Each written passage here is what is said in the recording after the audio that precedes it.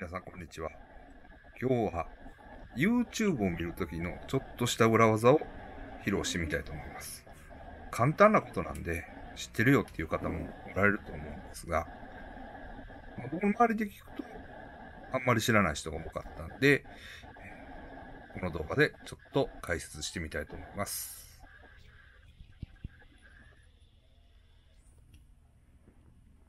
はい。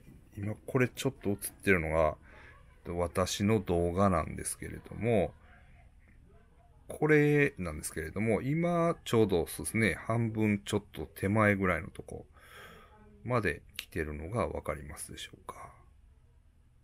この動画を見てるときにですね、例えば、じゃあ、8、8という数字のキーを押してみます。そうするとわかりますでしょうか？全体の8割のところにジャンプするんですね。はい。では、例えば4。4のとこ押してみます。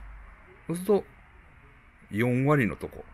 10分割して、まあ、1だったら1割。2だったら2割。みたいな感じで、えージャンプします。じゃあ0を押してみましょう。0だったら最初からですね。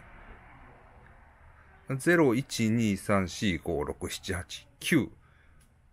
じゃあ9押してみます。お、ちょっとわかりますかね。9。はい。そしたら9割型いったところまで、動画が進んでるのがわかると思います。まあ、これだけの裏技でした。便利だと思ったら、見てるときにね、ちょっとこう、進めたり、バックしたり、するのに便利だと思ったら使ってみてください。どうもご視聴ありがとうございました。